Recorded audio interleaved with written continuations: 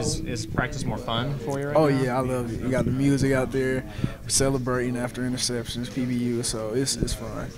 You look back over the past year and think about where you were and just trying to fight to get on the field, and, and now coach is talking to you about a, a main player on this defense. How, how incredible is this progress you've made? Ooh, It's, it's been a blessing. It, sometimes it feels surreal just knowing, you know, you walked on, pretty much, you're undersized, like, but the hard work over time just been phenomenal. Coach Hayes at first, he was the first guy who was like, you know, you got some talent.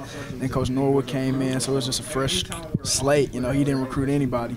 So whoever balled out, we get to play. So now it's like I just got to take the opportunity and keep going. You're a big personality guy. when you're a walk on, do you have to put that in the can and shut up? Oh no! Since day one, I, I was just like, I'm gonna have fun, work hard. Um, really, people like DJ Reed, for instance, because he told me uh, we came in the same time. He was like, you know, I walked on the Fresno State. I'm like, what? You walked on? You, you that good? He was like, yeah, bro. Like if you really work hard and believe in yourself, you can do it. So, When did you get bumped up? ooh, to first string. Or just in general. Scholarship? Oh, scholarship. Well, I'm not currently on scholarship. I've been using the GI Bill, so I've been good with that because I actually make a nice amount of money from that. So yeah, the scholarship would get us some more players. Right, so when you say GI Bill, can Yes, my father, my dad, he's in the army, Okay. and uh, he retired. So you get some sort of pay that covers like school and books and things like that. It's like a scholarship Okay, so basically. better than a scholarship. Yeah, yeah. Okay. So, so, so uh, yeah, I've been, I've been chilling on that. I haven't really stressed about it. All my stress has been on playing. Coach Hazelton said you, they've kind of moved you around a little bit, free safety, maybe even corner. I know in the past, were you just primarily nickel? Some of the stuff new? Uh, yeah, I've been playing corner and nickel for sure. Um, it's just an entire new defense, so you just gotta learn the plays one day at a time. I think Coach Hazelton kept talking about you guys are preparing to play Big 12 offenses, but it's kind of made it a challenge in practice because the offense you go up in practice is nothing like what you'll see in the Big 12. Exactly. So sometimes it's frustrating. You line up in the formation and they motion over, and I'm like, oh, what do we check to it? But I mean, it's prepared us because it's actually forcing us to think. So I feel like when we get in the Big 12 play and you just come out with this formation, it's like, all right, I'm here, I got this.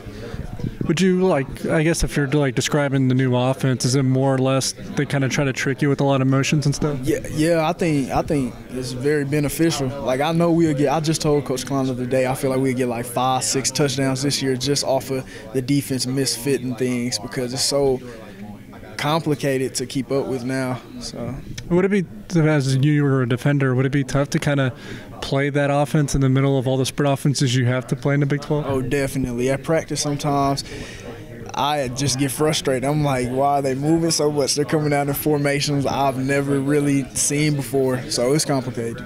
Someone that's kind of gotten a lot of buzz by Coach Hazelton, and I think even uh, some of the players we talked to last week is Wayne Jones.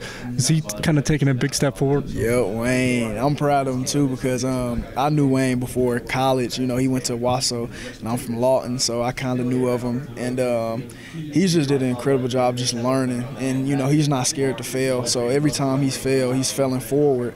He's learning things fast. And then I just look like, dang, he's only a freshman. He'll be a redshirt freshman next year. So yeah. How's he?